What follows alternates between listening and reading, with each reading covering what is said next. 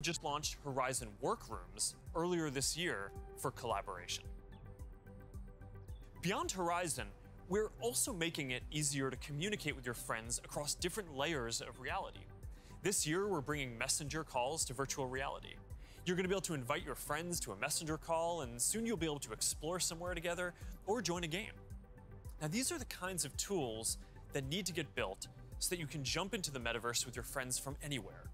And they're going to unlock some pretty amazing experiences. Now, let's move on from some of these basic concepts and people just connecting to a completely different set of experiences around entertainment and gaming.